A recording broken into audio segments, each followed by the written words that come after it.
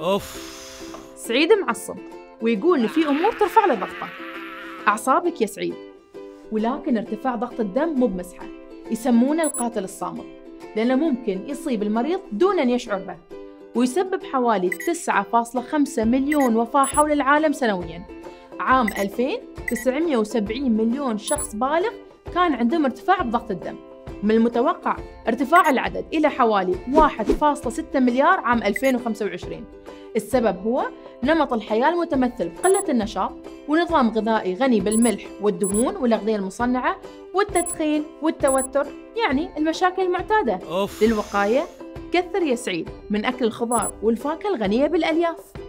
وركز على البوتاسيوم الموجود مثلا في البرتقال والموز والتين والفاصوليا والروب وطبعا لا تكثر ملح في الأكل وتوصية الأطباء المعتادة. ابتعد عن التدخين. وافحص ضغط الدم بشكل دوري. وللناس العصبية نفس سعيد. هدوا أعصابكم عدوا للعشرة.